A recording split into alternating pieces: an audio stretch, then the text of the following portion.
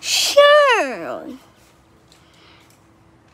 Only people that likes Minecraft can watch this